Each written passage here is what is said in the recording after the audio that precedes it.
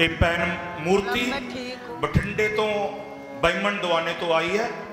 ਇਹ ਕਹਿੰਦੇ ਨੇ ਇਹਨਾਂ ਨੂੰ ਅਧਰੰਗ ਦਾ ਦੌਰਾ ਪੈ ਚੁੱਕਿਆ ਸੀ। ਫਾਦਰ ਜੀ ਨੇ ਆ ਕੇ ਬਿਮਾਰਾਂ ਦੀ ਮਾਲਿਸ਼ ਵੀ ਦੇ ਦਿੱਤੀ ਸੀ ਪਰ ਇਹਨਾਂ ਨੂੰ ਇਸ ਤਰ੍ਹਾਂ ਲੱਗਿਆ ਕਿ ਮੈਨੂੰ ਪ੍ਰਾਰਥਨਾ ਭਵਨ ਲੈ ਜਾਓ। ਇਹ ਪ੍ਰਾਰਥਨਾ ਭਵਨ ਆ ਗਈ। ਅੱਜ ਤੁਹਾਡੇ ਸਾਹਮਣੇ ਜਿੰਦਾ ਹੈ। ਤਾੜੀ ਵਜਾ ਕੇ ਖੁਦਾ ਦਾ ਧੰਨਵਾਦ ਕਰੀਏ। ਤਾੜੀ ਵਜਾ ਕੇ।